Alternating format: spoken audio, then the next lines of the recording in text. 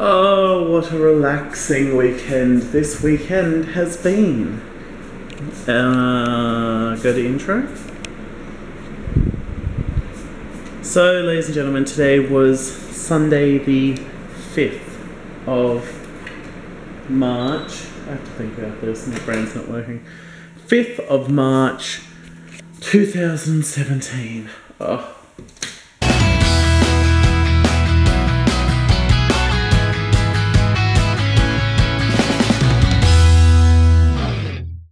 I just had a very relaxing weekend this weekend. Sunday, well, today was Sunday. Saturday was full of nothing, glorious as it was. Um, and Sunday today, I joined in my first ever game on um, Pathfinder on the Roll20 online virtual tabletop, so that was interesting. Um, but yes fun, fun, fun. Um, I am.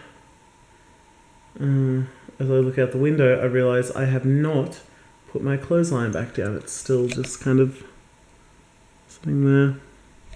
Should have folded it back up and put it up against the fence. Oh well. Um, back to work tomorrow. Yay. Oh, and it will be week seven.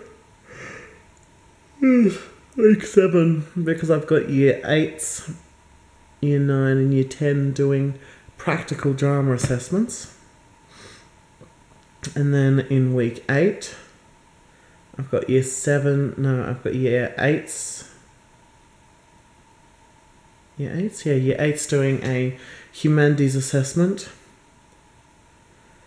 In week nine, I have sevens and sevens doing English assessment and nines doing humanities assessment. And week 10 is report cards. Not long left. All of week 7, week 8, week 9, week 10. So four weeks left of term, and then I have holidays. The first day of the holidays, I'm going to the Empire Theatre to see a weekend. So it's gonna be good. But I need to survive that long first. So another Monday down the drain as of tomorrow. But at the moment, I think I'm gonna go to bed and I might read a book because I purchased um, the Magicians and the Magician King. Uh, I I had to order Magician Land, Magician's Land. Magician Land. I don't know. Uh, the third book in the series, so yes. I'm enjoying the TV show, but I'm going to go back and read the books because I have read them all. It was just a while ago, so. Peace. I'll see you tomorrow for the start of week seven, as week six is now done and dusted.